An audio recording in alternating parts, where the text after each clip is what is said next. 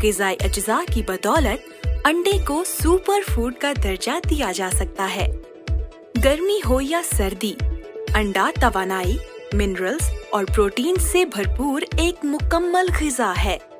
अंडों का इस्तेमाल दिमाग को तकवीत बख्शता है। तहकीक से साबित हुआ है कि अंडों में मौजूद कोलिन एक ऐसा विटामिन है जो दिमाग के असाबी सेल्स की नशोनुमा और बाहमी कारकर्दगी को बेहतर बनाता है। कोलिन की कमी याददाश्त में कमी का बाइस बन सकती है।